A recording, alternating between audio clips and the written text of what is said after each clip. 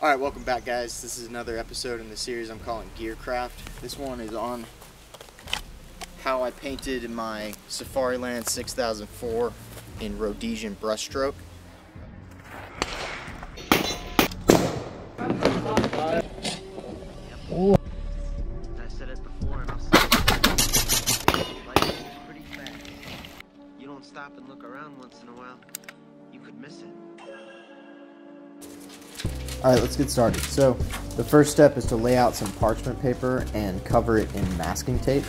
That way, when we cut into the printout of our camouflage, it'll be transferred over onto the masking tape.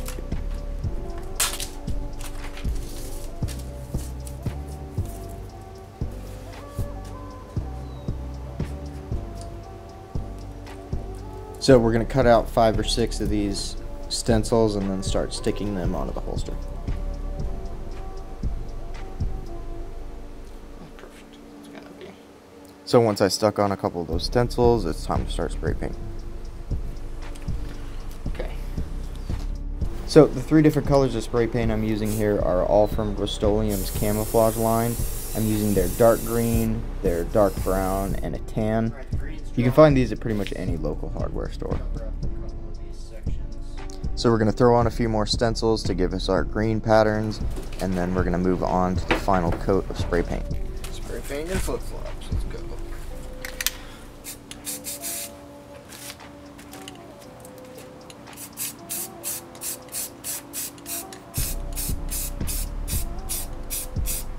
Now we're on to my favorite part. This is pulling off all the masking tape before we move on to the sponge brush.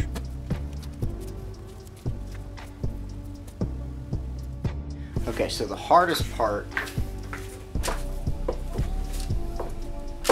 is the brush stroking. So on my last attempt, I way overdid the part with the sponge brush, so I'm to be a bit more conservative on this try.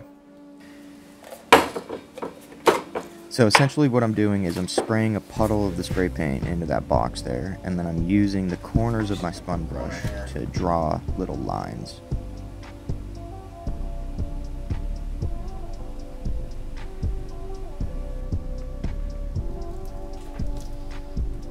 So this can be the most difficult part of this whole process, being that there's no real flat surfaces on this holster. But if you take your time and you really pay attention and you use the fine edges of your sponge brush, you can get some really distinct, good looking patterns. So we're onto the green now. Trying really hard to just use the corner tip to draw these little lines.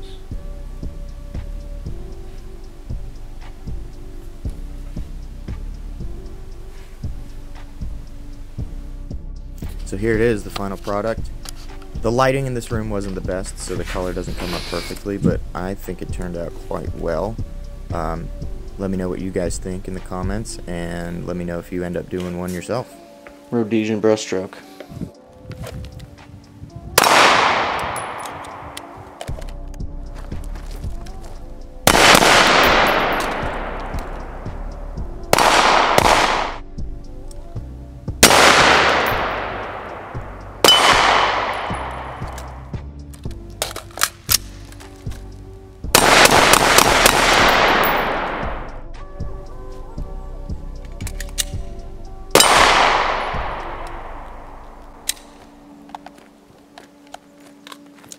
Hope we.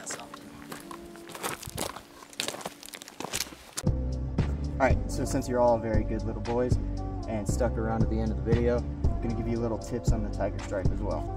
It's almost the same process, except it's a little easier. You just rip the edges off of this masking tape so you don't have any straight lines, hard edges, and then orient them all in the same direction. Then we just do one coat of green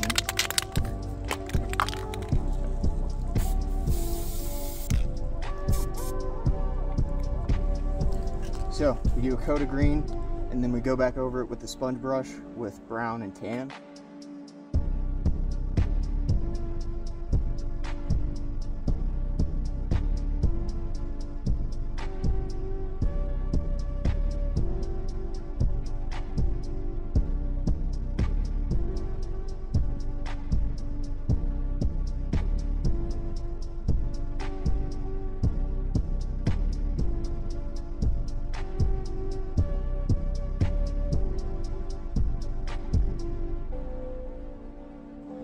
Get the uh, the same kind of tiger stripe that's on my rifle. It's on my helmet. That's how I've done all of it. Just very simple method. Thanks for watching the end, and uh, we'll catch you guys in the